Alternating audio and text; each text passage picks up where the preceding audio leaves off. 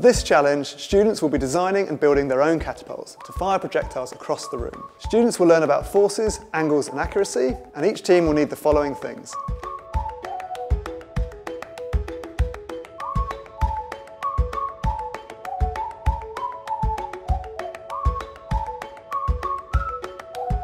For this challenge, you'll need between one and two hours, and you'll find indicative timings within your toolkit. We suggest starting with an introduction around catapults and their uses throughout history. We then have optional warm-up activities, followed by the main challenge. Students will have everything they need in their worksheets to get started, allowing you to move around the room and help where needed. Further information about the curriculum covered, any top tips, and the download links are all available in the teacher notes in your toolkit. So to fix these two lollipop sticks together, we're going to use elastic bands. I'm going to put these two across each other like this, and then taking the elastic band, come over, cross it over, come back, cross it over, one more time over here, and then we're going to cross it and get to there. That doesn't have to be precise, but that's the sort of thing you're aiming for. Okay, so once you've got these, do that four times and you should end up with a base that looks like this. The next thing you're going to do is make the A-frames, which are these two things here. And so it's the exact same trick with the elastic bands. And these two are going to connect in here to form the beginnings of your catapult. So we're going to need to connect these A-frames to the base. To do that, we're going to use another elastic band. So this can be a little bit fiddly, so this is the sort of thing you might want to help um, some of the students with. So again, we're going to come around here, anchor at the bottom, turn it, and then come back to anchor at the top. And if you're feeling like it's not strong enough, you can always put an extra elastic band on there. So once you've got the two A-frames here like this, we're going to use this lollipop stick to actually uh, give it some strength. So pulling that here. So the first one we're going to do is this one. Again, coming over, and then giving it another twist.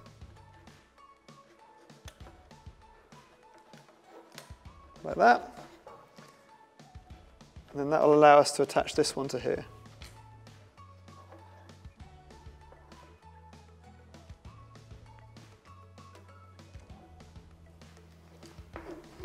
Like that.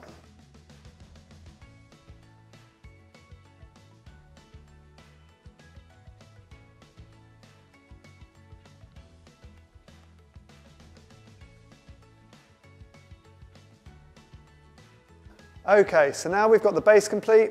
We're going to attach this lollipop stick, which we're then going to attach the catapult arm to. So, exactly the same trick. We're going to put this around here, take the elastic band and connect it like that. Similarly here, we're going to go around and attach that there.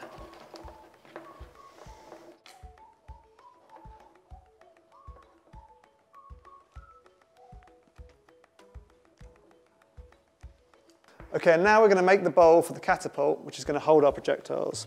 So, using some white tack,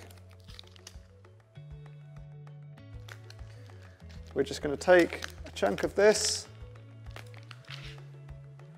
and add it to the lollipop stick here. And you can form this however you like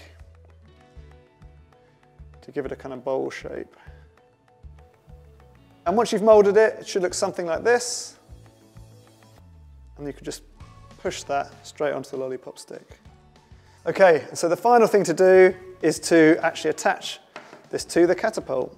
So one thing we're going to need to do is connect two rubber bands together, hold this like this, put one between the other and pull them like that. Then we're going to do the same trick on the back here. We're going to make a loop and pass it through. So that's going to give the tension that actually pulls the uh, catapult back and forth. Sliding the catapult arm behind this top lollipop stick, we're then going to attach here. like that.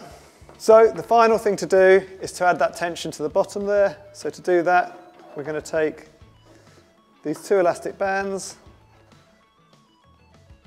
and wrap them around here.